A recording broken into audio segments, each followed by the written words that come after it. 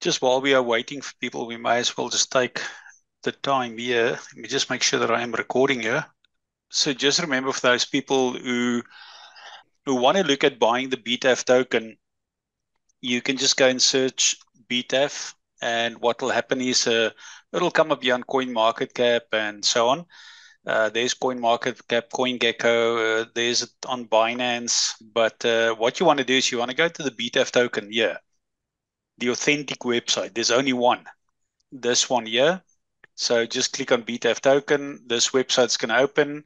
You click on the top right there. And what you do is you want to go down to buy direct. And what you want to do, um, you really want to hold some tokens here you know, at least a million tokens. There's only 200 million tokens. That's the max supply, and we're going to lock up some supply. But then what you can do, you can directly from this website, you can go and connect your wallet here and then purchase, swap your BNB to BTAF token. At the moment, uh, one BTAF token, look at this, Nico, uh, only buys you 17,000 now. Yeah. Okay.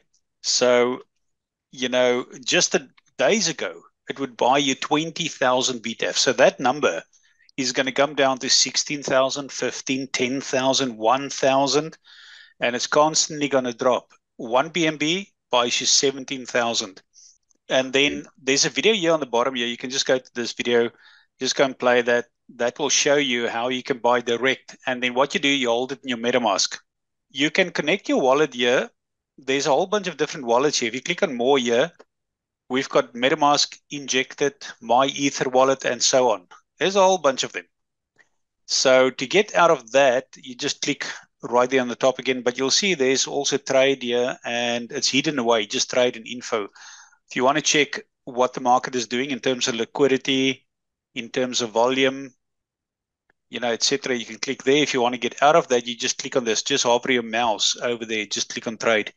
So there's a huge amount of trades that are actually going through this website right now at the moment. So uh, get yourself some of those tokens when you have the time.